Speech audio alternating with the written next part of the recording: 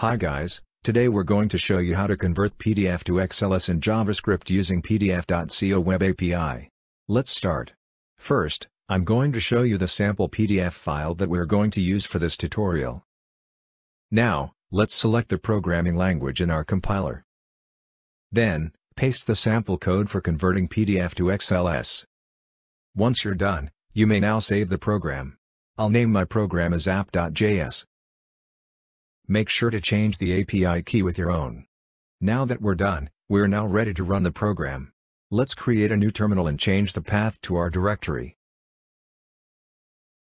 To run the program, type node, space, name of your program.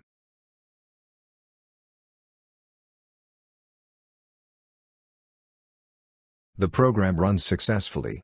The converted XLS file will automatically be saved inside the folder where your program is located.